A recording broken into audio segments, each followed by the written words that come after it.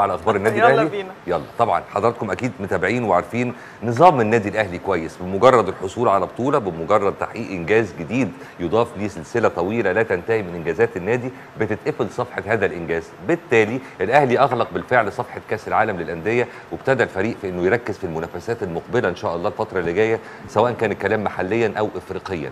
المباراة المرتقبة هي مباراة النادي الأهلي والمريخ السوداني. بكرة إن شاء الله يوم الثلاث الساعة 9 مساء الأهلي طبعا بيستعد بمنتهى القوة لهذه المباراة لأن هي مباراة مهمة بالفعل وبالفعل برضو النادي الأهلي ابتدى آه، تدريباته على ملعب التتش وكان طبعا كالعادة موسيماني حريص على إنه يجتمع بكل لاعبين الفريق قبل انطلاق المران للحديث عن مباراة المريخ السوداني. طبعا الكلام ده ضمن الجولة الأولى لدور المجموعات بدوري أبطال إفريقيا.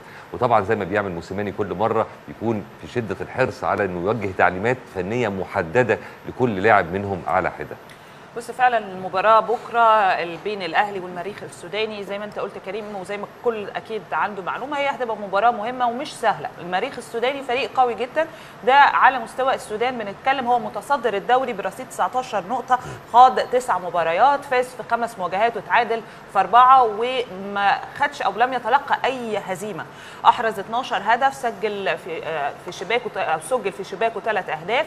كل اللي إحنا بنقوله دي أرقام. تخلينا أكيد في النهاية نقول إن المباراة بكرة هتكون مباراة مهمة أمام فريق أكيد مختلف وكمان فريق قوي.